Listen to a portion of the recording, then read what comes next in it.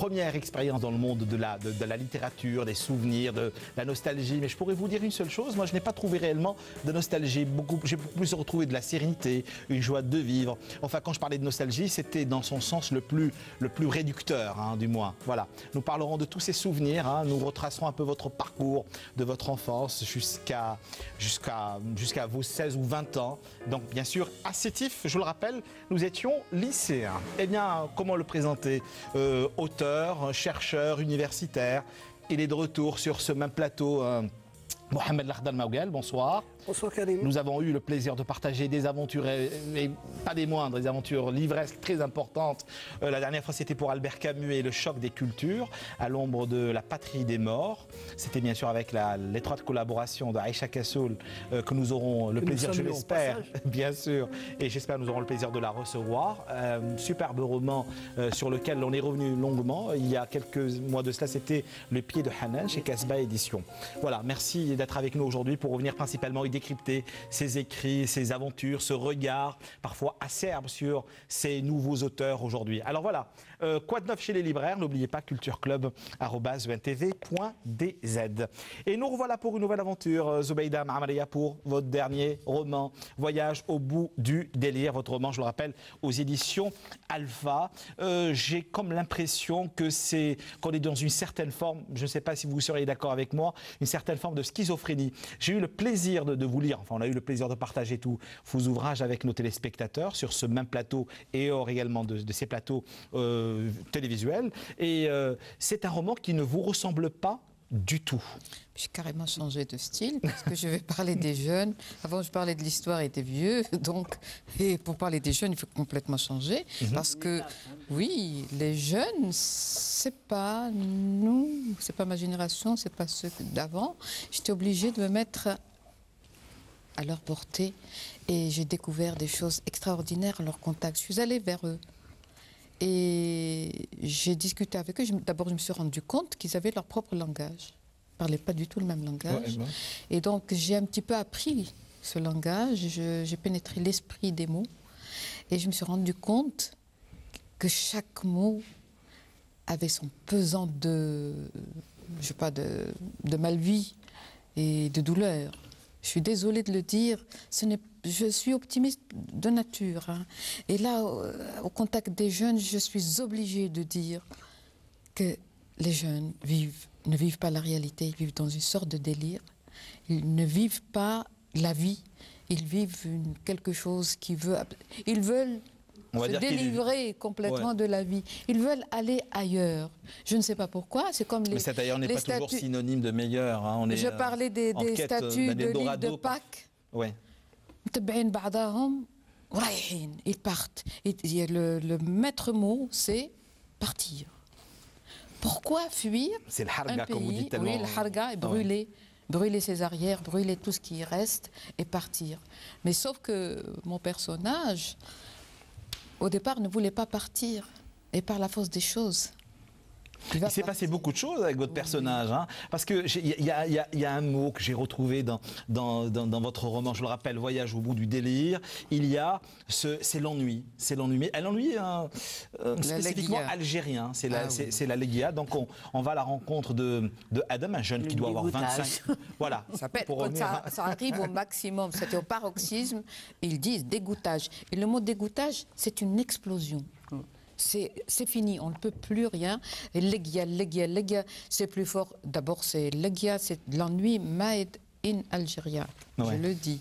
et, euh, oui, et legia, ce n'est pas ennui. Ennui, c'est poétique, c'est à la limite euh, quelque chose qui, euh, qui va avec la poésie, avec la mélancolie, avec... Mais legia, c'est quelque chose de dense, quelque chose qu'on peut palper. Très profond. très profond, il s'apaise. Mais votre personnage le dit, hein, il dit euh, c'était mon lot quotidien. Elle venait s'installer dans mon ventre, dans, mon ventre, dans ma tête, partout autour de moi. Je la palpais lorsqu'elle devenait dense, je la voyais telle une lourde chape tomber sur le corps de tous les jeunes déambulants et voyais ma, ma propre Légia vivre à travers eux une vie pleine de Légia, inutile et sans lendemain. Légia, ma Légia me, me pesait lourdement. Alors, ce personnage, il faut qu'on le dise également à nos téléspectateurs, c'est Adel, il a 26 ans. Adam. Adam, pardon, euh, qui a, 20 il a 26 ans, donc un jeune journaliste qui habitait au Bled et qui est venu squatter, entre parenthèses, le studio de son oncle. Enfin, et drôle de personnage, son oncle. Hein. Oui, oui. drôle, de, de- drôle de personnage. Et puis, euh, ce journaliste qui, qui avait du talent, il faut quand même le dire, et qui, à chaque fois qu'il proposait ses écrits au, au rédacteur en chef, il- il- ces, ces derniers étaient catégoriquement refusés. Son drame, il était obsédé par la situation des jeunes. Il n'écrivait que sur les jeunes et ça n'intéressait personne. Ouais. Il fallait parler du métro, il fallait parler de, de- de la- l'autoroute, il fallait parler d'un tas de choses pour faire bien. Or, lui ne pouvait rien écrire d'autre que la malvie des jeunes. Et ça ne plaisait pas à ses rédacteurs en chef, et donc il n'arrivait pas, ses billets ne passaient pas. À Et- beaucoup de rédacteurs en chef. hein. Oui, et il a fait pratiquement tous les journaux. Il était tout le temps à l'essai, et dès qu'il passait un billet, euh, il se faisait taper sur les doigts. Et donc, il était constamment au chômage, et là, les elle était là. euh, à l'accompagner. À lui C'était presque un, un- un troisième, parce qu'il y a eu des personnages. hein. Oui. Euh, on, va, on va y revenir, mais vous savez, comme euh, dans toute histoire, dans tout roman, il y a toujours une femme, il y a toujours un- une rencontre, il y a toujours un amour. Et justement, Et Adam- pourquoi je, je- je dis que les billets d'Adam ne passaient pas? Cherchez, prenez toute la presse, francophone ou arabophone. Il n'y a pas un seul article sur la jeunesse. C'est rare, très très rare. J'ai- Quand il y avait beaucoup de haragas, on parlait, on disait 16 haragas, sont- ils ont été pris, ils ont été des chiffres, assassinés. tout simplement. Mais on ne parle pas des jeunes. On ne leur réserve pas de colonnes et on ne, il n'y a pas de dossier jeunesse dans la presse. Mhm. Et donc les billets d'Adam ne passaient pas. Ça ne passe pas. En tout cas, ils reprennent, euh, ils reprennent euh, leur place dans, dans cet ouvrage, dans ce roman, dans votre propre imaginaire. C'est la raison pour laquelle j'avais dit que c'était un roman, euh, une écriture qui ne vous ressemblait pas quand on analyse, entre parenthèses, tout ce que vous nous avez proposé tout au long des saisons passées. Donc, à- Adam, ce jeune journaliste, rencontre l'amour. Hein, c'est Hayat. Et puis, dans certaines pages, dans certaines situations, il a cru que Hayat était la petite amie ou la maîtresse donc, de son oncle. Oh, Tout à fait. Et, et, et Hayat Et porte- malgré ça, il a aimé. oui, mais un amour assez profond. hein. Terrible. Terrible, Oui. vraiment terrible.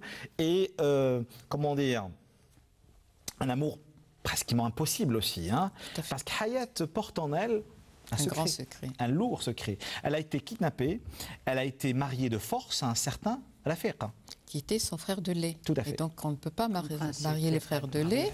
Frères et sœurs ne peuvent. C'était hein, c'est incestueux. Et donc, euh, Rafiq disait que sa mère avait concocté cette histoire pour le priver donc de, de Hayat. Et un jour, il lui présente un livret de famille. Il lui dit Tu es ma femme, tu ne pourras jamais te marier. Sans qu'elle le sache. hein. Oui, et ça s'est vu. Ouais. C'est des situations que j'ai connues aussi avec euh, des personnes. Et donc, elle va errer, la pauvre, elle, elle se cache. Elle se cache de l'affaire qui était très, très influent à une période donnée. Et bon, je ne sais pas si tu vas le dire, mais. Je ne vais pas dire tout, ce- tout Ah, ça hein, non plus.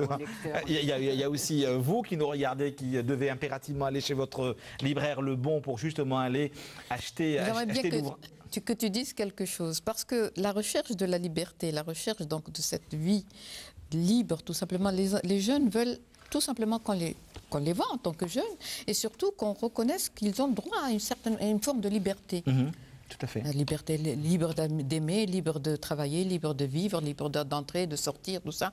Ils n'ont pas d'espace de vie, ni à la maison, parce qu'on les chasse, surtout l'homme, le jeune homme. Non, mais, mais c'est quand, même des- l'extérieur. c'est quand même des jeunes qui vivaient par procuration ou devant leur poste de télévision Tout. ou devant leur écran d'ordinateur, qui pensaient encore une fois, euh, qui, qui- qui étaient en quête d'un Eldorado, je, le dis- je le dis souvent sur les ondes de cette chaîne de télévision, de plus en plus virtuelles. hein.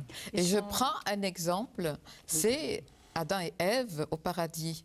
Adam et Ève se sont rendus compte un jour que le paradis appartenait au Seigneur et qu'il fallait chercher la liberté ailleurs. Mais ce soir, je ne jouerai pas le rôle du serpent, je vous rassure. Très bien. ils vont quitter le, paradis euh, pour aller ailleurs. Euh, Je voulais juste euh, intervenir Je vous écoute, je vois la euh, de ces jeunes qui n'ont pas d'ancrage, qui sont déphasés, qui n'ont pas de repères, à, à qui on ne s'intéresse pas. Je voulais simplement dire, j'ai eu un moment d'angoisse lorsque j'ai eu en face de moi un élève. J'ai eu, après le, après le travail, les questions, j'ai eu vraiment l'impression que j'avais affaire à un élève virtuel, hors champ.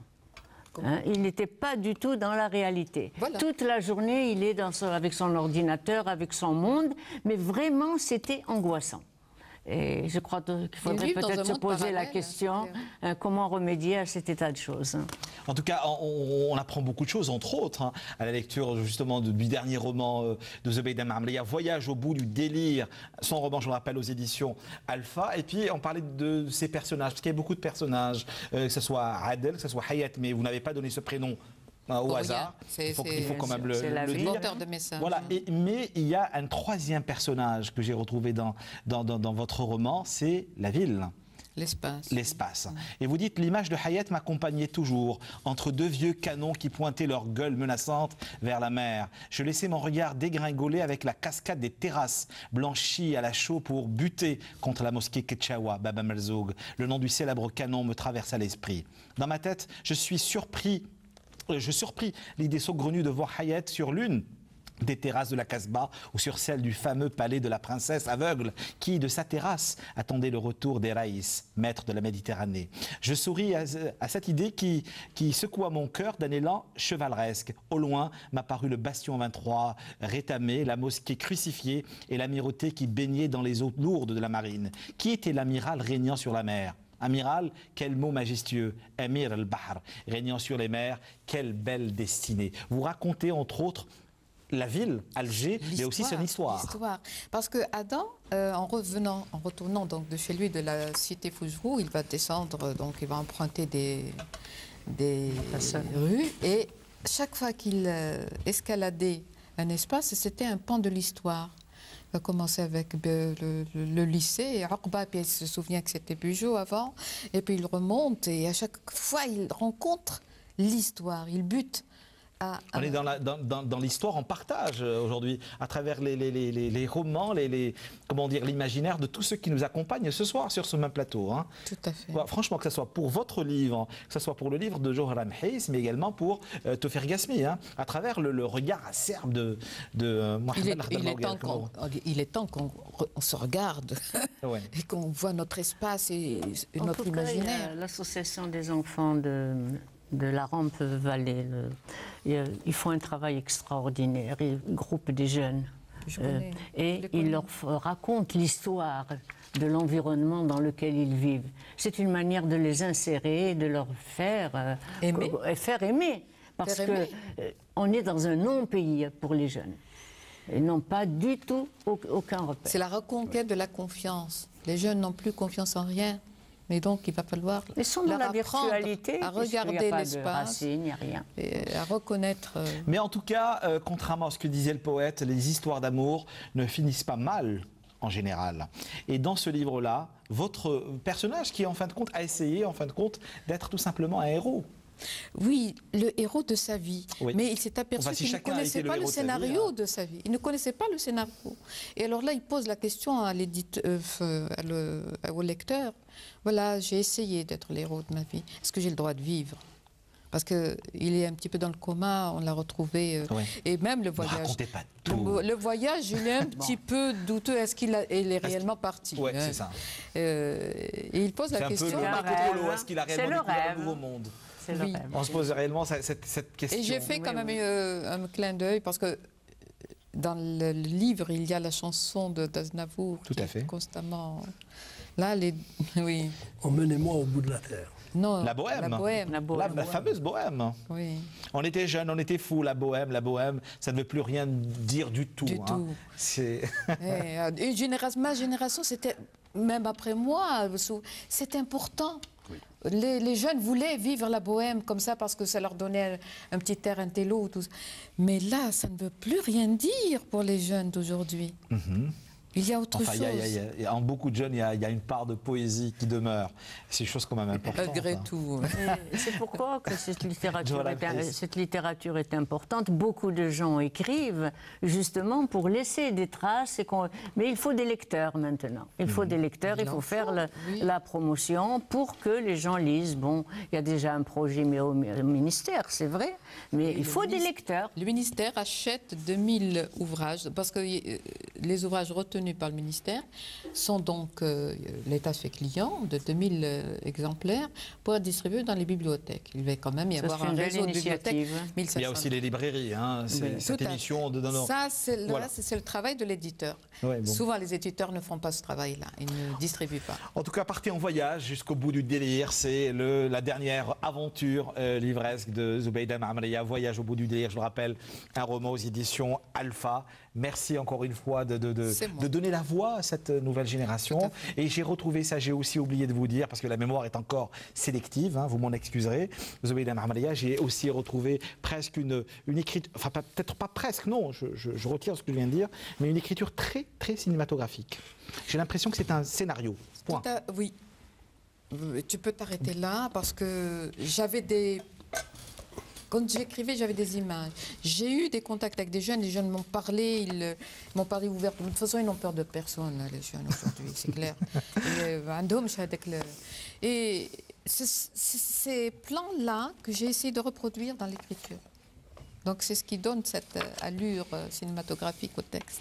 Voilà donc, voyage au bout du délire, je le rappelle encore une fois, en vente chez les bons libraires. Donc, euh, littérature ou mémoire en partage, quoi de neuf chez le libraire? Pour ceux et celles qui viendraient tout juste de nous retrouver, n'oubliez pas cultureclub.tv.dz. On avait dit qu'on a décidé justement d'organiser ce plateau après l'organisation du 16e Salon international du livre en disant quoi de neuf chez le libraire? Eh bien justement, je me suis posé la question suivante avec moi, vous, Mohamed Akhdal Maouga, je le rappelle, auteur, chercheur, universitaire, on vous présente plus. On a entre autres présenté votre ouvrage Albert Camus et le choc des cultures à l'ombre de la patrie des morts, je le rappelle aux éditions Millefeuille, de ce qu'a été les éditions Millefeuille qui malheureusement n'existent pas. Les, espaces culturels se réduisent comme peau de chagrin, c'est malheureux de le dire aussi. Et, j'avais lu il y a seulement quelques semaines à travers la revue Livresque, c'est la seule revue bien sûr qui s'intéresse aux livres, la rentrée littéraire chez nous. Hors de nos frontières, il y a pas moins de 700 à 800 romans. Est-ce qu'on peut réellement dire aujourd'hui, puisque je ne sais pas si c'est l'éternelle question, le débat récurrent, mais est-ce qu'il y a une véritable euh, euh, euh, entrée littéraire? Vous allez me dire certainement non, parce que quand on est, quand on est, comment dire, quand on est indulgent, on va peut-être dire 40 à 45 romans, toutes maisons d'édition confondues, et pourtant sur ce même plateau, nous recevons chaque semaine des auteurs. Ne serions-nous pas dans une certaine forme de contradiction intelligente? J'aime bien ça. On dit souvent une hirondelle ne fait pas le printemps. Oui. C'est le cas précisément, mais parler d'une rentrée littéraire avec euh, une cinquantaine, si on est généreux, de romans, c'est un non-sens. C'est absolument un non-sens. Parce que d'abord, euh, il faudrait voir euh, euh, comment sont produits ces romans, euh, qui les fait, euh, quelle est la part de nouveauté. C'est ça qui est aussi. Parce qu'il est, est-ce qu'il y a des rééditions? Est-ce qu'il y a des nouveautés? Est-ce qu'il y a des nouveaux thèmes? Est-ce qu'il y a des ruptures dans les manières d'écrire, dans les traitements des, euh, des thématiques? Tout ça. Et à ce moment-là, si euh, on parle de rentrée littéraire, comme on en connaît un peu partout ailleurs, ça veut dire qu'il y a un fait saillant à fait. autour d'un ouvrage ou d'un best-seller qui fait l'événement. Or ici, malheureusement, euh, ce n'est pas du tout le cas. Ce travail de l'éditeur. C'est le travail de l'éditeur, c'est le travail de la critique littéraire. La qui critique littéraire, c'est important parce que le- la sélection Qui se fera hein, pas. de toute qui façon. n'existe pas. Là, parce là, que- vous me renvoyez vers la remarque d'un- jeune auteur que j'ai rencontré dans les métros de Paris, qui me- qui m'a dit, en ces termes-là, quand je vois vos émissions, euh, quand je vous vois à la télévision et quand je descends sur Alger, euh, de l'autre côté, quand il est de Oui, l'autre côté, quand il est sur Alger, j'ai vraiment l'impression que vous êtes une euh, anomalie culturelle, monsieur Amiti.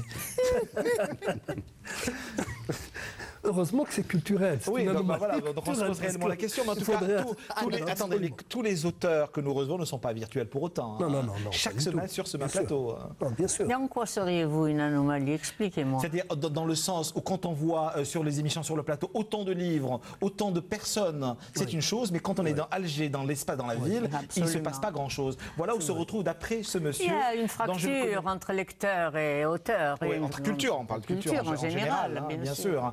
Alors, comment pourrait-on réellement parler et dire, et comment pourrait-on dire, hein, considérer cette, euh, ces, ces- ces auteurs ou ces jeunes auteurs ou ces personnes qui viennent euh, tardivement? Il en sera question un peu plus tard avec euh, Tofir Gassimi, son livre Nous étions lycéens. Peut-être qu'il faudrait plutôt parler des nouvelles plumes. Oui. Parce que les, Voilà. les gens qui écrivent ne sont pas forcément euh, d'un premier âge d'écriture. Il y a aussi de la tra- de la- de l'expérience, il y a, comme on dit, de la bouteille un peu euh, dans, le ma- dans la manière d'écrire. Donc, qu'est-ce qui est nouveau, qu'est-ce qui apparaît Et ce n'est pas forcément un problème de génération. On a vu des personnes qui, euh, euh, sans une grande expérience d'écriture, mais de par l'expérience de vie, de par l'expérience du travail intellectuel, du travail euh, euh, esthétique, arrivent à créer un événement. Un on a eu euh, quelques exemples, et euh, malheureusement cet aspect-là, cet aspect n'est pas visible cette année, cette année en particulier. Je n'ai pas eu alors, cette alors que nous vivons un grand événement euh, culturel qui est Tlemcen, capitale de la culture islamique, et paraît-il, après le ministère de la Culture, vous êtes bien placé pour en parler, et justement, euh, Zubeida Mamria, beaucoup de, de- de- de- d'éditions et beaucoup de rééditions par la même occasion, qui, pour certaines, iront directement, malheureusement. Ça, c'est. un- Je n'ai pas trouvé un livre de Mohamed Di Batlemsen. ouais. Il n'y a même pas un, un édifice qui porte son nom. Alors, vous savez quoi? C'est la raison pour laquelle, justement, euh, euh, par la même occasion, vous me permettez justement de saluer notre chroniqueuse qui, pour des raisons de santé, ne pourra pas être des nôtres, à savoir Rachida Mansaf.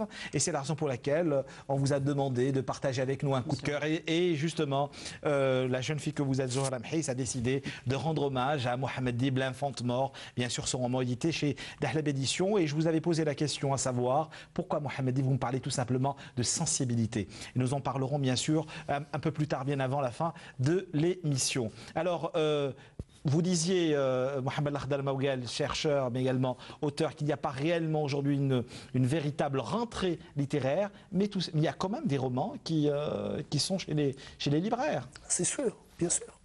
Parce que l'activité de, de- de- de production, elle est là, elle est, perma- elle est permanente. Permanente. Elle est permanente. Oui. On revient au lectorat. Ce qui la- hein. ce Elle qui est très fait Pardon? Elle est soutenue quand même le- par, le, par le- un ministère qui veut absolument qu'il y ait le livre de la lecture publique. Là, ça soulève un autre problème. Oui. Mais la permanence, si elle est liée au soutien du ministère, euh, elle, est, elle est en fait factice.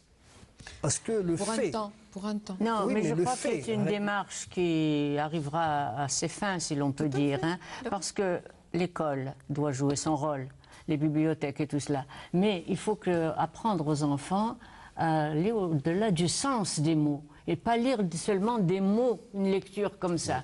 Et je constate qu'ils ne voient pas, ils ne voient que le mot. Donc, ils n'ont pas le temps de faire une lecture courante et de- et d'aller au-delà Ça, du c'est sens au niveau des des mots. apprentissages. Au, là, au niveau des apprentissages, Il y a- ça, il y a- c'est il y a- la Est-ce qu'il y a une véritable rupture hein, euh, enfin, C'est une question, je considère, récurrente, euh, pas seulement hein, euh, sur ce même plateau, mais un peu partout. Est-ce qu'il y a une véritable rupture entre... est-ce que vous, vous me permettez de donner un exemple d'événement littéraire euh, Chez nous fulgurant Chez nous Oui. Non, un événement littéraire actuellement dans la conjoncture que nous vivons. Dans les turbulences que connaît euh, le Caire, qu'il a connu il y a Oui. depuis quelques mois, à chaud, deux écrivains ont sorti des best-sellers sur ce qui se passait dans la rue. Deux écrivains égyptiens? Égyptiens. Ah, d'accord. À chaud.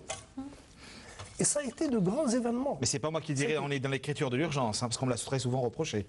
Mais là, c'était pas simplement de l'écriture euh, qui était liée aux événements.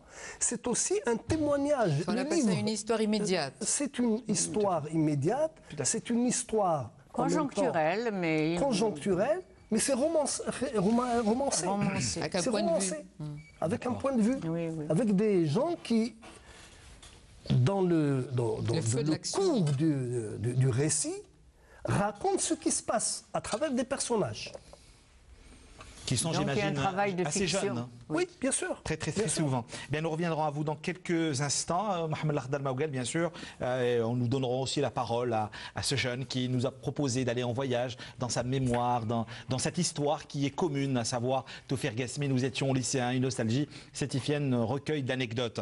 Johar Amhei Souksal, euh, bonsoir. Vous avez, je le disais au sommaire de l'émission, toujours été dans l'éducation, dans la formation, dans la transmission du savoir pour cette nouvelle génération. Et là, vous revenez euh, principalement avec euh, l'exil et la mémoire. C'est votre dernier ouvrage paru aux éditions, bien sûr, Casbah. Vous êtes assez euh, fidèle à votre maison d'édition. font du bon travail, je ne vois pas pourquoi je hein. Dans la collection Empreinte, qui, elle, euh, il faut quand même le dire, euh, s'intéresse beaucoup plus aux grands auteurs algériens. Et puis, vous. C'est une étape. C'est pour établir simplement une continuité. Pe- Peut-être que si j'ai le temps, je m'intéresserai aussi à la littérature des, des jeunes, Ouais. parce que ça aussi, ça me tient à cœur.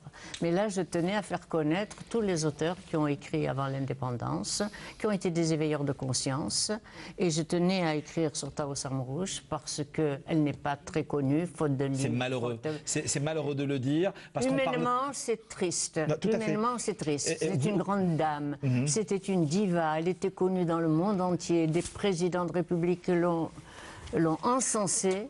Elle a écrit des romans qu'on ne trouve pas dans les librairies. Alors- Au moins que nos jeunes aient une idée que cette personne a existé Alors, et qu'elle appartient à l'Algérie. Justement, Taous Amoloch, on parle beaucoup plus d'elle euh, comme poète, comme euh, chanteuse, qui a une voix qui a traversé les, Ah les, oui, les absolument. frontières. On la retrouve aux quatre, aux coins du monde, mais on parle très rarement d'elle euh, comme, comme justement écrivaine, femme de lettres, pardon. Euh, avant, pour l'organisation de cette émission, je ne vous cache pas avoir fait non seulement des tours dans les librairies ici à Alger, mais Alger, ça n'est pas l'Algérie. J'ai aussi donné des coups de fil à certains libraires pour demander est-ce que quelques, quelques, quelques-uns de ces romans étaient euh, en vente, comme L'amant imaginaire, La rue des tambourins, Jacinthe Noire, bien sûr, ma mais aucun de ces romans, justement, n'était en vente chez nous. Comment est-ce que vous expliquez ce, ce déni de mémoire? Ça, c'est un problème récurrent chez nous. Il y a des romans qui ne sont pas publiés, c'est tout. Euh, Il y a des- de l'ostracisme, quelquefois, il faut le dire. Alors, vous savez, à la lecture de votre ouvrage L'exil et la mémoire, je le rappelle, une lecture des romans de Taous Amalo chez euh, Casbah Édition, je, je- je trouve hein, que la, la création, que l'imaginaire de Taous Amalo est scindé en deux. Euh, sa, sa vie en Algérie et puis cet exil. Cet exil qui l'a accompagné Qui l'a toute rongé. sa vie. Exactement rongé. ça. Mais quelle douleur, cette cassure, euh, euh, euh, comment dire, insoutenable. hein. C'est pour ça que c'est un cas d'une humanité angoissante. Euh, bien sûr qu'elle était ancrée dans un terroir, dans un pays. Les hasards de l'histoire, les tourments de l'histoire ont fait qu'elle est allée d'exil en exil, rejetée par son, sa tribu, ensuite rejetée dans le contexte de la colonisation, rejetée à Tunis, rejetée à Paris. Donc elle se cherche, elle cherche à comprendre et à se faire comprendre pourquoi le lot des déracinés entraîne euh, de telles conséquences psychologiques. Moi, je refuse et refuse catégor- catégoriquement qu'on dise qu'elle a été gardien de cette mémoire, de, de ce patrimoine Non, immatériel. non. Moi, je parlerai, je vous assure, c'est- l'impression. Elle n'était pas... euh, Non, mais attendez, moi, je, je trouve que c'est presque une ethnologue, une. une, une, une- Bien sûr que c'est un document historique, Un document historique sûr. de, de- de- de cette mémoire. euh, euh, Mais moi, c'est surtout pour montrer justement cette fracture due au- à la domination.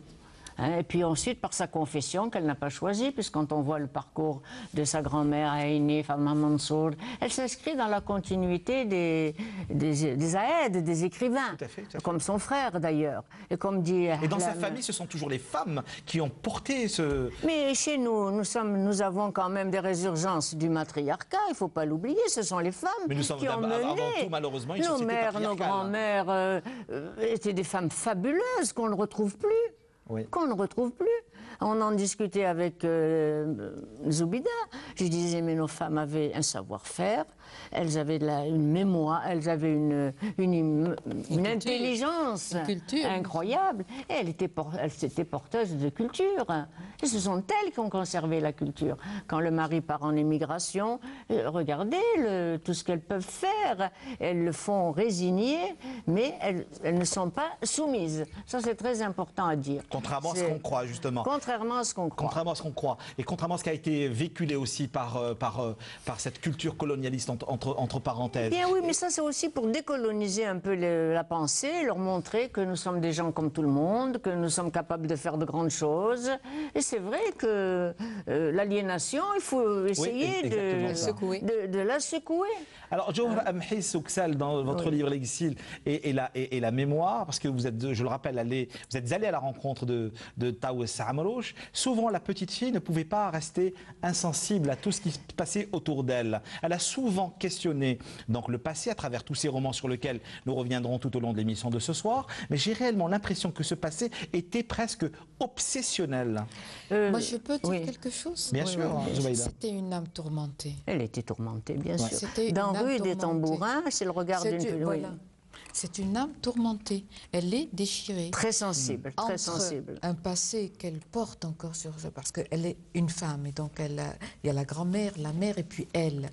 Ça a traversé le temps. Ce qui est arrivé à sa grand-mère a traversé le temps, et c'était hein, elle. Ouais. est- et puis ça se transmet hein, dans le transgénérationnel parce On n'oublie pas la on mémoire. n'oublie pas un secret gardé, comme disait ce qu'on n'a pas pu dire en mots MOTS se transforme en mots MAUX. Mhm. Or dans la rue des Tambourins, qui est le deuxième livre, mais j'ai tenu à, à travailler en premier, c'est l'histoire, c'est la petite fille qui ne comprend pas pourquoi sa famille est tiraillée comme ça? Son père qui va à la messe avec sa chéchia, euh, sa mère qui sort en tailleur, euh, et sa grand-mère qui, habille- qui est toujours habillée selon la tradition. Oui, mais, mais vous n'avez Hein? pas répondu à ma question. Oui. Donc justement, j'ai retrouvé euh, à travers cette relecture de pratiquement tous ces romans, les quatre romans du mois que vous proposez à travers votre livre L'exil et la mémoire, cette obsession du passé. Alors, justement, l'obsession du passé, il y a eu un élément déclencheur au début. Quelqu'un lui a dit vous, vous ne serez jamais heureuse. Et alors elle se pose la question pourquoi cette inaptitude au bonheur? Et c'est là qu'elle va fouiller, elle va se livrer à une analyse, à une introspection, jusqu'à l'obsession. Tout à fait. Jusqu'à l'obsession. Serions-nous dans une fatalité du destin? Et, pardon, Euh, justement, cette idée de la rançon et de la fatalité parcourt tout le livre. Oui, voilà, on paye, on va payer. Qu'est-ce qu'on paye? On n'en sait Tout- rien. tout à- tout à fait. D'autant plus qu'avec la religion catholique, il y a l'influence du péché. Hein, donc, t- de l'interdit, comme dit euh, Dans toutes les Hélène religions. Mostaranmi, il n'y a pas de littérature en dehors de l'interdit.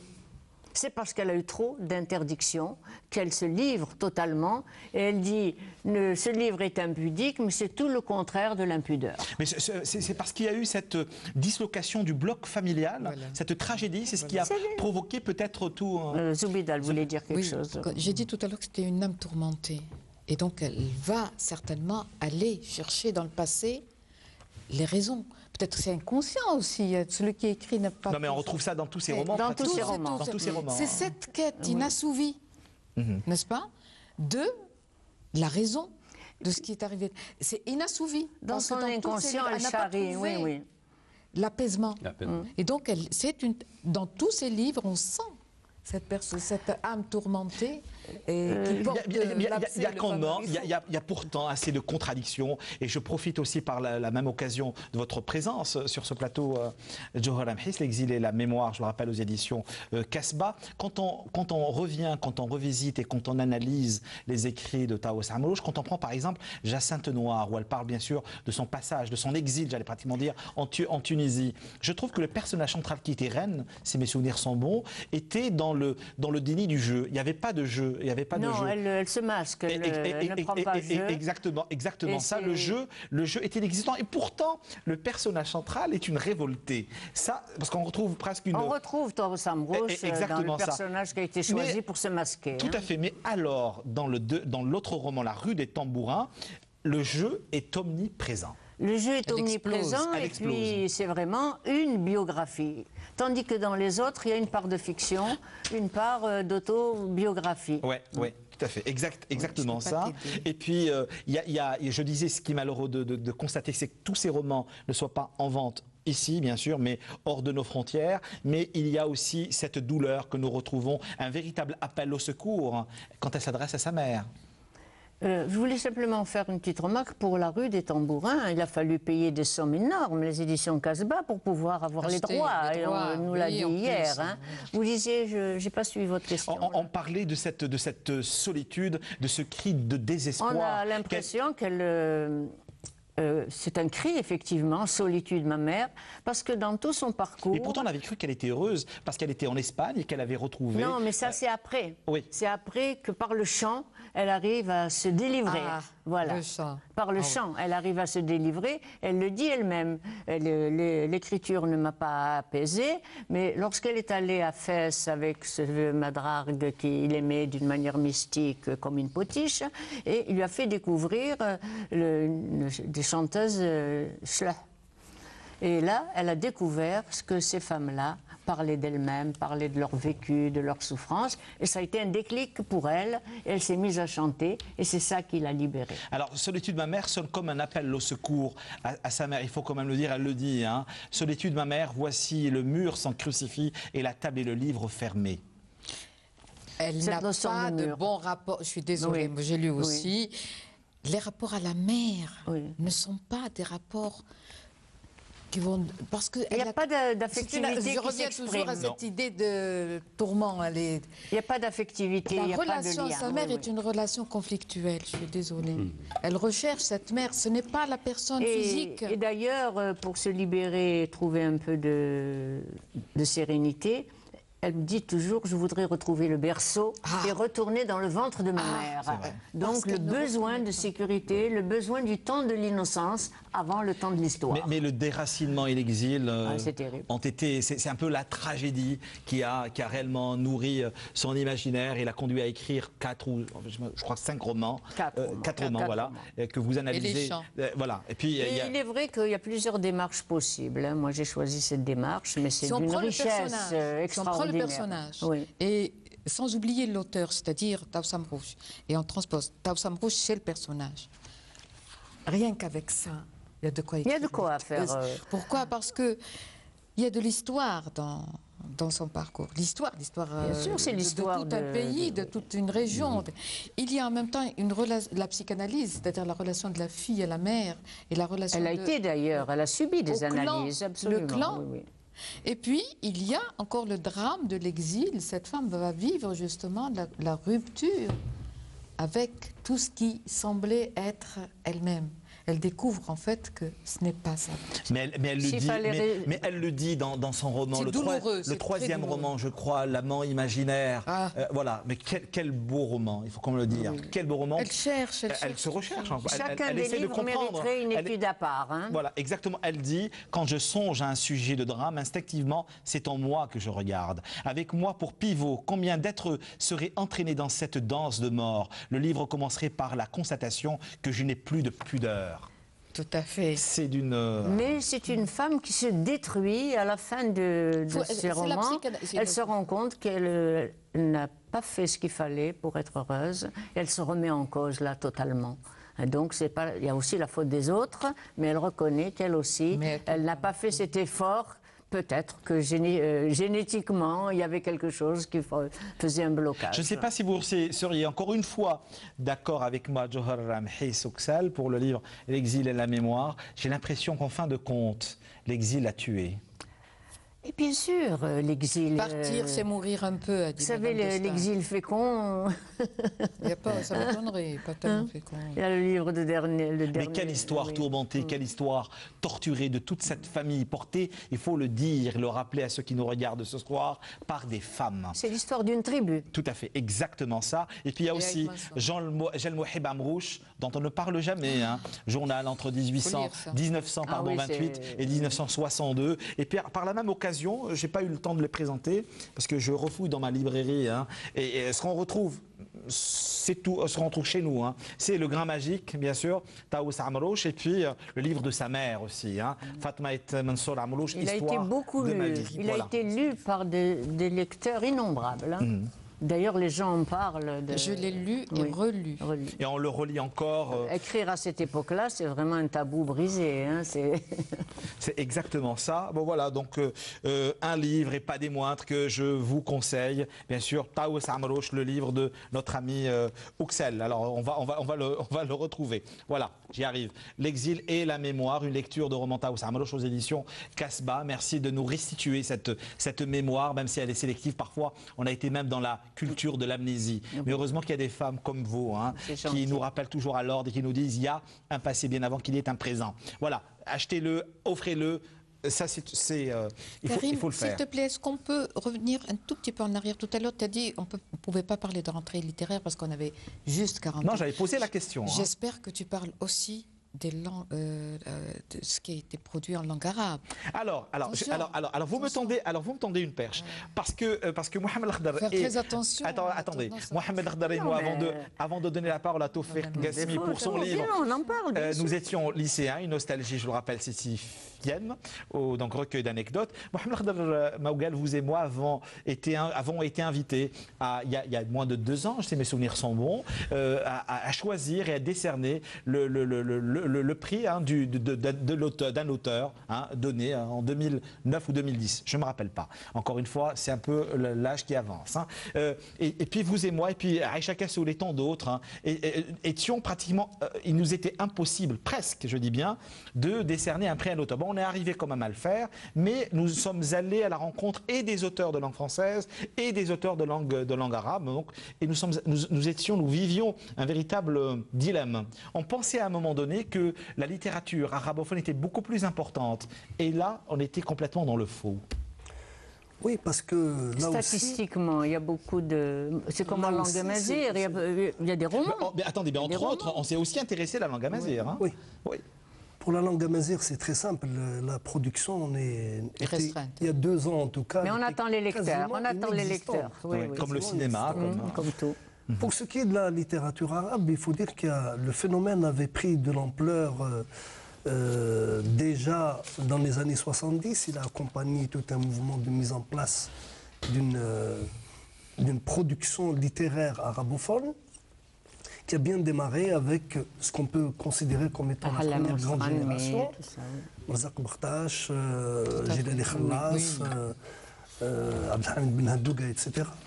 Donc, et euh, quand on est passé à la deuxième génération, dans les années 80, il y a eu un phénomène assez, assez curieux.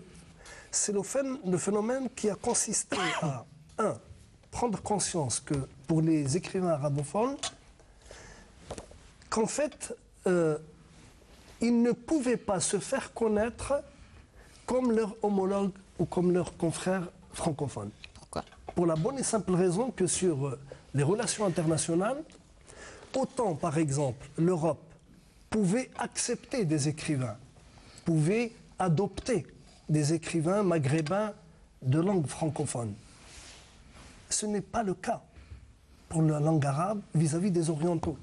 Et, cela- et- et, euh, vous avez parlé de Halam Starami tout à l'heure. Elle a eu un clash Ah, oui. il y a trois ans, j'ai fait un papier là-dessus, euh, au Salon du Livre de- du Liban, où quelqu'un est venu lui dire euh, Vous êtes de quel pays? Alors que ces ouvrages étaient, exposés de partout.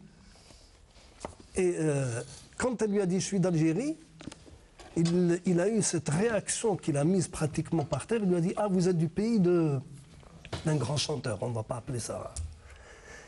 En fait, ce qui était plus connu, c'était un chanteur de rail, Oui. plutôt que la femme qui était devant lui qui était une célébrité.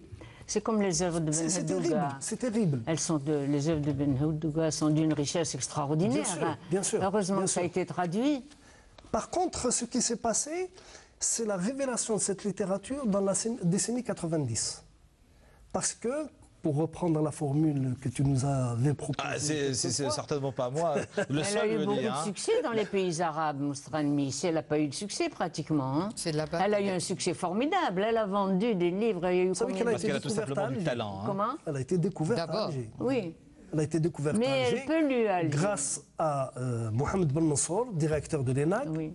qui lui a publié son premier roman Premier. que j'ai expertisé, oui, oui. Al-Jasad, Tout à fait. Mémoire de la chair. Mémoire de la chair, qui est un J'ai pas beaucoup roman aimé la traduction, cela dit, en Extraordinaire. La traduction, je ne l'ai- je l'ai pas lu. Ouais. Moi, je l'ai lu en langue arabe. C'est, c'est Elle écrit fabuleux. dans les deux C'est extraordinaire. Oui, oui. Ouais. oui. Elle est plus franco euh, arabophone, je pense. Elle est hein. arabophone. Elle est arabophone. arabophone, voilà. Exactement. Donc, ça. dans cette décennie 90, il y a eu un fait de choc. Peut-être parce que euh, ces écrivains se sont retrouvés au carrefour de deux euh, influences euh, importantes, politiquement parlant. L'influence du nationalisme qui était en crise Ouais. après 80 et l'influence du- de l'islamisme qui montait. Et certains ont eu beaucoup de courage. Je pense à. Brahim Saadi, le- notre, notre- mon collègue universitaire de, de Tizi Ouzou, qui a écrit un très beau livre très bons livres dénonçant le terrorisme. Je pense à celui qui avait fait partie avec nous euh, euh, du jury de Mohammedia.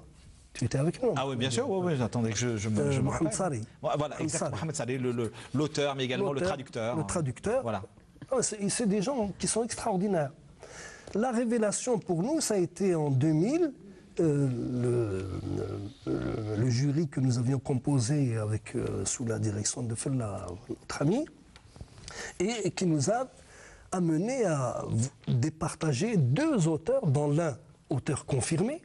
Boujdra Rachid, Et- face à lui, euh, Ahmed Ayashi, Ouais. avec euh, son troisième roman, son- simplement son troisième roman. J'adore ce roman Matahet. Hein. C'est d'une beauté extrême, je dis bien extrême. Hawalis. Ah, Wallis, mais il y a aussi euh, Et Ma- oui, Matahet. Matahet, du- c'est dans Bachir Mufti. C'est Mufti, je crois. hein. Euh, Il y a où? Non, attendez, ouais, ouais, ouais, je pense. Peut-être. Je vais. Je vais euh, Donc il y a, y y eu cette, cette révélation extraordinaire, effectivement, d'une littérature qui monte, qui n'a plus les anciens réflexes de la génération 70, ni de la génération 80, mais qui est en prise directe sur Il y a des modes de pensée différents modes- quand il y a une sûr. évolution historique. C'est une jeune génération Oui. d'écrivains.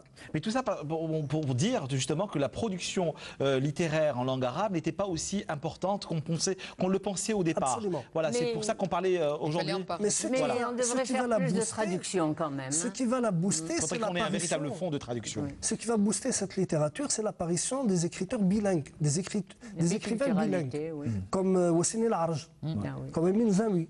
Donc, ce sont des écrivains qui écrivent dans les deux langues et qui écrivent avec beaucoup d'originalité, même si on peut, à la limite, être quelquefois un peu C'est la circonspect liberté par de rapport à certains cris. de- En tout cas, en, en tout cas nous, y, Mais- nous y reviendrons, je vous, je vous l'assure, la, la littérature et le bilinguisme. Ah, vous pouvez nous donner euh, peut-être vos avis sur cultureclub.tv.dz. Je vous Dans cette rappelle. littérature bilingue algérienne, elle est d'une originalité remarquable. Tout à fait d'accord avec vous. Remarquable. Alors, le dernier euh, roman, que, enfin roman, souvenir, hein, que je vous présenterai ce soir, celui de Toufik Gasmi. Nous étions lycéens, une nostalgie sétifienne, euh, donc un recueil, un recueil d'anecdotes. Bonsoir Toufik Gasmi. Bonsoir. Vous n'étiez pas du tout euh, euh, euh, bavard hein, aujourd'hui sur Bah, écoutez, chacun son domaine. Moi, je- j'ai écrit ce petit recueil, il est loin d'être euh, une œuvre. Je n'aime pas le mot petit, j'ai- horreur de, de, de, de, ce terme-là. Petit, c'est pas au sens. euh, Voilà, exactement ça. Voilà, un- Avec vous, c'est un véritable voyage. C'est pas un dans- roman fleuve, quoi. Voilà, c'est un véritable voyage dans,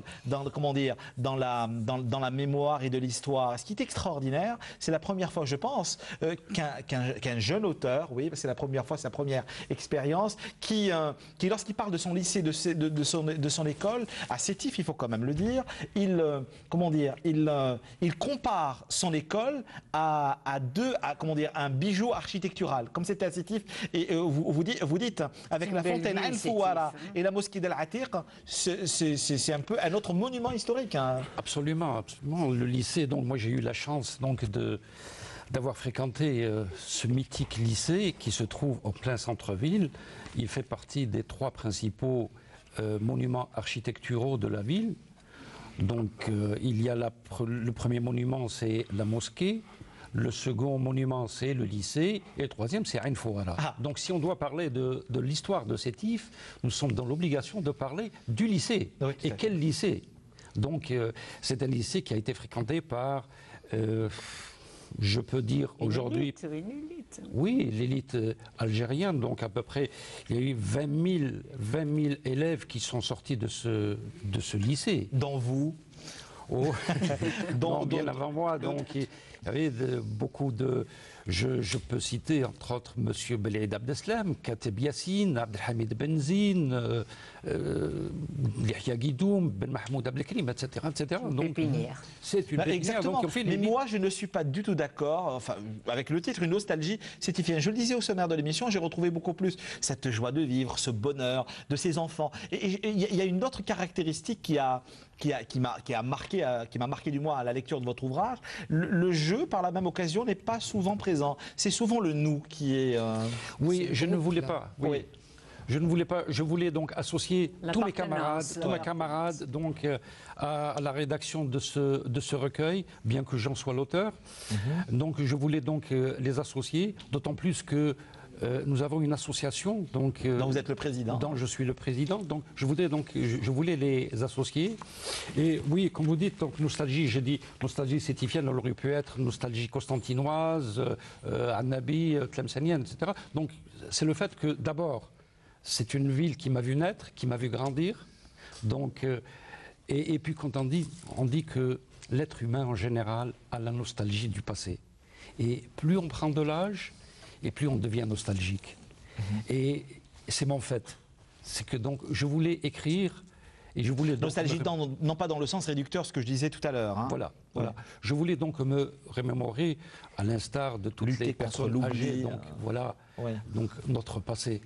Et J'ai retrouvé aussi par la même occasion beaucoup d'émotions parce que dès les premières pages de votre ouvrage, je le rappelle, nous étions lycéens, une nostalgie sétifienne Toufergasmi, vous rendez hommage également à tous ces jeunes qui ont rejoint les rangs donc, de, de, de, de, de la de- de- pour défendre justement ce pays. Vous dites, beaucoup d'élèves avaient pris un jour, sans prévenir, le chemin de la révolution. Et un peu plus loin, vous dites, un jour, un condisciple et, compagnon d'armes de Abdelhamid, originaire du Djidjel, effectua une visite au lycée qui l'amena vers tous les endroits qu'il a fréquentés alors qu'il était élève. Quelques instants plus tard, il nous rejoignait avec les yeux, les yeux rougis, tout en essayant de contenir furtivement sa traîtresse aux émotions. Il sanglotait en se rappelant sans aucun doute ses frères d'armes tombés à la fleur de l'âge. Nous nous dérobions pour en retenir en vain. Tout à fait, tout à fait. Il y a beaucoup, beaucoup d'élèves qui sont, qui sont partis à la fleur de l'âge, donc euh, en pleine La adolescence. hein, Oui. En pleine adolescence. Oui, Ils la ont- bleuite, ouais. Oui, ils ont pris le maquis, donc à l'âge de 17 ans.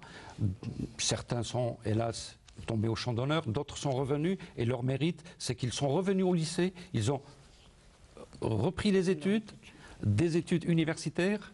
Euh, je parle de ce, donc il est aujourd'hui dentiste, donc il est à Djidjil, il se reconnaîtra. Donc il y en a plusieurs. Donc, qui ont, Vous, qui vous ont en pris- hein, vous avez une mémoire, si vous permettez, d'éléphant. hein, quand, vous dites, quand vous dites on oublie, on oublie, non, mais j'ai l'impression que ce livre-là a été écrit au fur et à mesure. De, Il va fixer la mémoire. Voilà, exact, il a fixé la mémoire. Et je suis certain, moi j'étais externe, hein, j'étais externe, donc je n'ai pas assez, assez de souvenirs. rapport aux internes. Voilà, les internes ont beaucoup plus de souvenirs. Ils se rappellent quand ils se rencontrent. Vous savez, euh, Karim, il nous est arrivé, donc chaque année maintenant, nous faisons des, des rencontres. C'est des retrouvailles. Et c'est des retrouvailles émotionnelles. Imaginez un seul instant des personnes qui ne se sont pas vues depuis une quarantaine d'années et qui se retrouvent Ils se reconnaissent? Quelquefois ils se reconnaissent, quelquefois non. Et quand ils se reconnaissent, ce sont des larmes, des larmes de bonheur. Et c'était, c'est une, c'est une amitié de plus de 40 années. Le temps complètement. Voilà. Vous arrêtez, le, vous arrêtez le temps. Vous arrêtez le temps parce que quand euh, vous vous disiez, hein, malgré le temps qui s'envole, il n'en est pas moins vrai que les souvenirs d'école ne s'oublient jamais. Et parlant justement d'anecdotes, hein, vous en citez, mais alors là, vous, vous- quand vous parlez de Tahal et de sa valise, vous dites il est, il est rituel pour toutes les mères dont les enfants étudient à l'extérieur de préparer avant leur départ des friandises, des gâteaux, le fils, le macarot, etc., histoire de se rappeler le bled et ses coutumes. Et, et- et- et vous dites, euh, euh, j'aime beaucoup cette, euh, cette, cette anecdote, vous nous parlez de Tahar Bey de Medjana, je pense, c'est réellement ça. Et vous dites qu'il y avait des élèves renifleurs, et parmi cette race figurait un certain Saïd Etameur qui avait une une- un odorat digne d'un terrier. Il rôdait par là, il huma une odeur particulière venant du casier de Tahar. Il s'arrêta, net tel un chien de chasse. En un tour de main, il fractura la serrure de la valise, ouvrit et prit ce qu'il devait prendre, c'est-à-dire les galettes et le fils de sa chère maman de Tahar avait préparé. Mais il y a de toutes ces anecdotes que vous, que vous citez, et j'ai réellement l'impression, c'est ça, quand je disais vous fixez la mémoire, c'était Ça se réellement passait comme hier. ça. Ça se passait comme ça. Ça se passait Moi, je comme ça. revenais, j'étais à l'école normale de Constantine, donc je rentrais aussi avec ma valise. J'ai connu ça J'avais le fils, tout ça. On est allé sur le lit, toute. Tout ce qu'on a porté. Elle venait de Gigel, elle- je venais de De toutes les régions. Et on mettait sur les lits كل واحدة وجدي la galette, le fils, le zebda, tout ça, et on partageait. Et, Mais en Hakim tout cas, ce Yemi- garçon ne voulait pas partager. hein. Non, il prenait C'était un tout. chapardeur qui, euh, qui En tout tel un- cas, l'internat de Sétif est évoqué dans les JMAD. Katabiassine, bien sûr. Bien sûr, il y C'est ça avait qui est des- important, c'est emblématique. C'est emblématique, comme vous dites. Emblématique. Et je vous dis, nous avons passé une, en- une, une adolescence, d'abord une enfance extraordinaire, et ensuite une adolescence euh, merveilleuse. Je voulais dire une chose, parce que j'ai oublié. Vous avez dit que les lycéens, donc il y a l'esprit promotion. Tout à fait. Ouais, il y a une promotion, il y a une cohorte là qui se suit. C'est pourquoi vous êtes très liés. Vous avez partagé énormément de choses sur plusieurs années, au moins, au moins à trois ans. Ce que, ce que je voulais dire, les jeunes de cette époque-là, ils étaient matures. La politique, l'histoire qu'ils vivaient les a propulsés.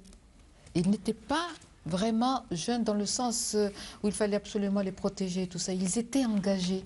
La preuve, ils sont allés au Ils maquis. sont allés au maquis. Hein, À 17 ans, ils se sentaient déjà... C'était euh, l'idéal, oui, euh, c'était l'idéalisme. Le cas de Et c'est puis, Karim, je ne sais pas si vous avez vu, donc je rends hommage aussi à nos, euh, à nos professeurs. Oui, non, mais, mais c'est un hommage justement euh, à, à toutes ces à, à ces professeurs, à proviseurs, aux directeurs, et, et- et avec, tout ça avec, avec beaucoup d'anecdotes, il faut quand même le dire. Et puis, et, Comment et puis euh, comme, comme euh, Madame Amhis, vous avez, vous avez enseigné, vous avez enseigné, et parce qu'il y a beaucoup d'anecdotes, vous parlez de souvenirs, souvenirs, et ça va être la dernière anecdote avant de refermer les pages de, de- de votre livre. Nous étions lycéens, donc une nostalgie sétifienne, un recueil d'anecdotes. hein. Vous dites un seul souvenir donc, nous sommes en 1967 ou 68, je ne sais plus, l'approviseur me confie entre autres une classe de première et m'annonce que mes filles, entre parenthèses, seront 54. Vous dites hein, le silence, un peu plus loin, hein, quand vous entrez en classe. Vous dites le silence, 54 regards avides, respectueux se jettent sur moi et me disent courage. Je grimpe sur l'estrade derrière le bureau, m'empare d'une craie afin d'occuper mes mains tremblotantes, tremblotantes et, et commence à parler. 54 têtes s'inclinent et prennent en note ce que je dis, pourvu que je n'ai pas trop sorti de bêtises historiques ou géographiques. Durant toute cette heure, mes filles écriront, répondront à mes questions, m'en poseront, jamais un bruit, un bruit déplacé, jamais un reproche à faire. Une attention toujours présente. Il en sera ainsi toute l'année et à la fin des cours, à la sonnerie, aucune ne se précipite vers la sortie comme si un incendie brûlait le lycée et ce n'est malheureusement pas le cas aujourd'hui. Tout à fait. On bouscule le professeur aujourd'hui. Oui, oui, oui. Oui, Je bon, crois on a l'impression qu'il y a un incendie. La hein. relation À- à- à- élève-professeur a changé. Non, mais- Euh, non, vous Moi, je crois que c'est une petite conclusion, Oui. c'est que nous sommes fiers d'avoir appartenu à cette Génération. génération. Oui. C'était une génération merveilleuse. Donc, euh, Bah, grâce à vous, euh, bah, il y, a- il y a aussi les lectures de, de, de, de, de- de- de bandes dessinées que nous retrouvons entre autres dans, Oui. dans- dans cet ouvrage. Nous partageons toute cette génération. Mais grâce à la littérature, grâce à vous, grâce à tous qui viennent, ces acteurs de la scène du débat, qui viennent chaque dimanche soir sur ce plateau, eh bien, nous restituons cette mémoire et ce passé pas aussi lointain. Vous voulez rajouter Je quelque voulais chose juste hein rajouter parce que c'est le rapport entre la tradition et la modernité. Euh, on connaît nos coutumes, on connaît nos traditions, on connaît notre passé, et la modernité ne nous a rien fait perdre. C'est ça que je veux, que je veux dire. Et Les vous dites tous dans vos livres, quand on écoute euh, Zoubida nous parler de, de- de dans du milieu dans lequel elle a vécu, mais c'est l'Algérie profonde qu'elle nous restitue. En tout cas, euh, voilà. euh, restitution de, ce, Moi, je de voudrais, cette mémoire je voudrais collective. seulement le remercier d'avoir parlé du corps enseignant. C'est vraiment le parent pauvre de la Il société. y avait un rapport particulier élève-professeur. J'ai enseigné 10 ans avec des élèves de la colonisation. Pendant la colonisation, c'était toutes des Françaises. À aucun moment ne s'est posé le problème de l'appartenance. exact. Jusqu'à maintenant, je reçois des lettres. J'ai reçu une lettre d'une élève que j'ai eue à 60 ans. Elle se le- souvient de la leçon que je- qu'elle avait faite. C'est le statut de l'institution qui a changé. C'est ça. Aujourd'hui, le lycée C'est le rapport qui a changé, oui. Alors, euh, C'est un choix culturel aussi. Et il nous reste réellement pas de temps, me dit le réalisateur, qui, comme d'habitude. En tout cas, je, je vous promets une chose, parce qu'il nous reste pour Mohamed Dib, je vous invite euh, Vous ici. m'arrêtez, vous Euh, m'arrêtez. non, non, mais attendez, et on, on va faire une émission spéciale Mohamed Dib euh, très bientôt, ici même sur ce plateau, et nous reviendrons avec vous certainement, parce que euh, l'éditeur m'a dit que Madame Amhis est déjà sur un autre, euh, un autre ouvrage. Oui, je travaille sur les cinq romans de Ben Hedouga. Voilà, l'infante mort. Mohamed Dib, nous y reviendrons, je vous le promets. Non, ça fait rien. Avec, un grand plaisir. Alors, euh, là, euh, la littérature et la mémoire, quoi de neuf chez les libraires? Il, il a été question tout au long de l'émission de ce soir. N'oubliez pas cultureclub.tv.dz. Euh, alors, les ouvrages, Zubeida Mamria, son dernier roman, Voyage au bout du délire, c'était, c'est aux éditions Alpha. Johar Ramhis qui revient, bien sûr, avec un, nouveau livre, euh, L'exil et la mémoire, une lecture des romans de Taous Amrouch. C'est aux éditions Casbah dans la collection L'exil et la mémoire. Je vous le conseille vivement. Euh, Tofir Gasmi qui est venu partager avec nous cette mémoire, cette histoire, ce pan de notre mémoire, bien sûr. Nous étions lycéens, une nostalgie sétifienne, un recueil d'anecdotes euh, publié à compte d'auteur, il faut quand même le dire. par la même occasion, rappeler euh, le livre de Aïcha Kassoul et de Mohamed Lardal Maouguel, Albert Camus et le choc des cultures, à l'ombre de la patrie des, morts, bien sûr, aux éditions Milfay, Alex libraire, mais également euh, éditeur. Yasmina Khadra, que nous aurons bientôt le plaisir de recevoir à travers son dernier roman, L'équation africaine, c'est aux éditions Média Plus, c'est sorti il y a moins de trois semaines. Un garçon bourré de talent qui, euh, qui évolue hors de nos frontières, il faut vraiment le saluer, l'encourager. Il s'agit de Jazairi, La saison des larmes aux éditions, hmm, éditions G d'encre. Voilà. Euh, des livres, toujours des livres. C'est Fatima euh, que nous saluons au passage, que nous aurons le plaisir de recevoir très bientôt. C'est une promesse que je vous fais. Dunia, son dernier roman, aux éditions euh, Alpha. par la même occasion, quand on parlait de Amrouch, il faut aussi parler de ces chants, de cette poésie en vente hors de nos frontières. Il faudrait que le ministère de la Culture pense la, la rééditer comme, cela a été fait pour le cardinal de la chanson algérienne, le Hajj Mohamed Garouabi euh, et tant, d'autres. Euh, des livres, toujours des livres. Jean Mohib Amrou, journal entre 1928 et 1962, présenté par Tassadit Yassine, qu'on a eu le plaisir de recevoir et que nous saluons au passage. C'est aux éditions euh, Alpha. Il n'est pas disponible pour le moment, me disait-il, mais il le fera, il le sera certainement. Mouloud le retour au silence. Jamais silencieux ce jeune homme, Mouloud Les éditions Casbah, bien sûr. C'est des nouvelles que je vous propose, mais très très belle, il faut quand même le dire. Il sera aussi avec nous, je vous le promets, Abdelazak Halal, dans une dizaine de jours. Histoire du cinéma, le refus d'une mise en image, l'Algérien sur les écrans français, c'est aux éditions à la ça vient tout juste de, sortir. Et puis, dernier euh, livre que je vous présenterai ce soir, celui de Ahmed Ben Allal, ben pardon, ça s'appelle La tête dans un sac de cuir, la vie de Mohamed Ben Allal. Euh, bien sûr, c'est Mbarak mort au combat contre les Français le 11 novembre 1840 un récit, c'est aux éditions euh, du. Voilà, donc pour le dernier livre de ce soir. Il y a de la production, voilà, on est, c'est ce que je disais. Voilà pour donc le, débat et la rencontre de ce soir qui, est principalement, qui est principalement sur la mémoire, l'histoire et la littérature en partage. Pouvez nous laisser vos messages sur cultureclub.tv.dz. Voici une émission qui a été montée par Fouzia Ben et puis réalisée par Hassan Chakour et vous me permettrez de dédier cette émission à la mémoire d'un journaliste, d'un véritable monstre sacré de, la, du journalisme et télévision et presse écrite. Il s'agit de Ali qui nous a quittés il y a seulement quelques jours. À Dieu nous appartenons et à lui nous reviendrons. Que la nuit vienne reposer nos esprits. Nous aurons le plaisir de retrouver la semaine prochaine. Merci, au revoir, bonne nuit.